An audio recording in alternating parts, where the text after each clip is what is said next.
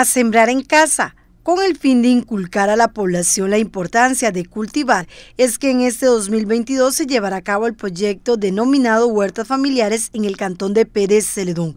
Es coordinado por el Ministerio de Agricultura y Ganadería y la Oficina Agromunicipal. El proyecto este consiste en el desarrollo de un proyecto de huertas familiares a nivel del cantón Pérez Celedón y coordinado entre la Oficina Agro de la Municipalidad, y la Agencia de Extensión de San Isidro y Pejivalle, involucrado también lo que es el COSEL, el Comité Sectorial. Este proyecto se inició después de la tormenta Nate. O sea, la propuesta salió del COSEL con la idea de que nosotros consiguiéramos un apoyo económico. Pero bueno, la tormenta Nate hace, no sé, cinco años, hasta ahora pudimos lograr que la municipalidad nos apoyara con este proyecto. Y el proyecto consiste en, en dotar para mil familias de 13 variedades de semillas para la producción de hortalizas y se le va a también adicionar 25 kilogramos de abono orgánico que es el que procesa la municipalidad, que es el que recoge, el, orgánico que recoge con sus camiones y que lo procesa en la planta de transferencia situada en Pacuara. La iniciativa busca entregar 13 variedades de semillas y abono orgánico que procesa la municipalidad a cada una de las familias participantes. Estas 13 variedades de, semillas están desde culantro, desde chile, tomate, cebolla, em, rábano, mostaza, eh, pepino, ayote, zapallo, vainicas, entonces, la idea es que la persona tenga mínimo 5 metros cuadrados a nivel de su casa, que tenga también una conexión a Internet, porque todo el proceso de capacitación se va a dar a través de las plataformas del MAC,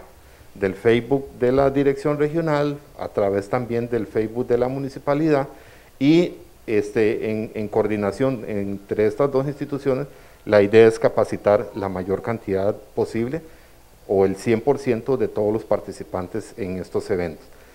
¿Cuándo se van a entregar? Posiblemente entre la primera y segunda semana de, marzo.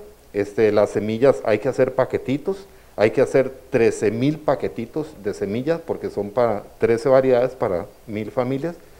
13 mil paquetitos y eso lleva una gran logística. Después de eso, este, se va a hacer un evento, eh, un evento protocolario donde se le va a entregar simbólicamente algunas familias y posteriormente ya nosotros vamos a ir en las comunidades entregando las semillas y entregando el abono orgánico como tal.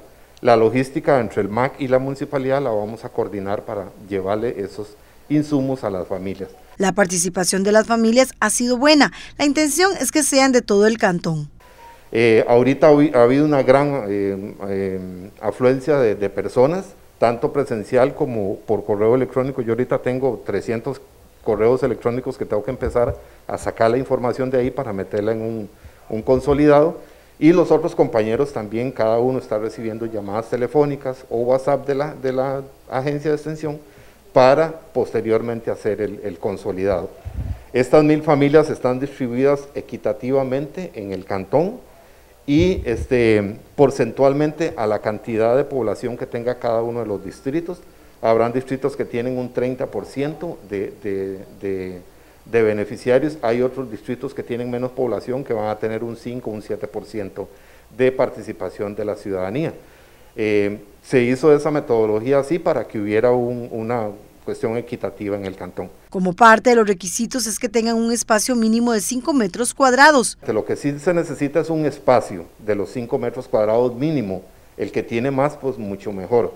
Pero este, la idea es darles la semilla y que ellos puedan eh, también como contraparte, si tienen que interés en poner un plástico, si tienen interés en hacer un cajón o sembrar en, en algunos recipientes que nosotros hemos dado capacitación para el uso de algunos recipientes y todo eso se va a incluir en el proceso de capacitación.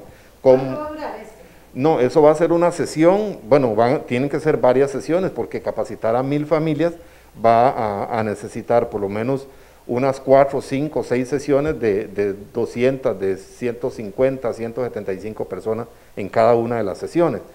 Y este, se va a capacitar cómo preparar el terreno, cómo hacer abono orgánico, cómo guardar las semillas para que no pierdan esa, esa, esa vida.